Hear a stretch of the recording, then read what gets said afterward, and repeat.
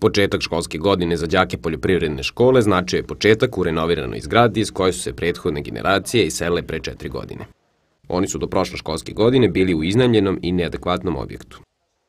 Kao što smo mnogo puta ove godine ponavljali, od 1. septembra poljoprivrednu školu vraćamo na staru adresu u Makedonsku ulicu i posle četiri godine podstanarstva u neadekvatnim uslovima uspeli smo ovdje e, da uradimo toliko radova da đaci mogu da krenu u školu 1. septembra i ja sam veoma zadovoljan evo što smo uspeli. Zahvaljujem se i izvođačima i našim javnim komunalnim preduzećima, agilnoj direktorici i ja se nadam da se više poljoprivredna škola neće izmeštati nikad.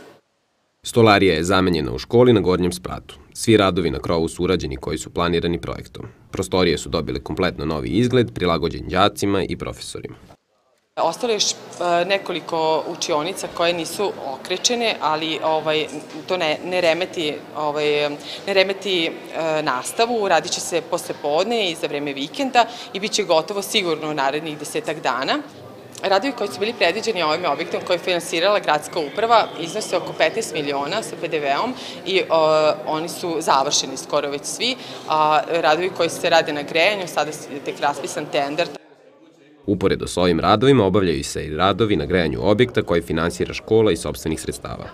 Za dve nedelje će biti duplo više učionica, pošto će se popraviti preostali deo škole.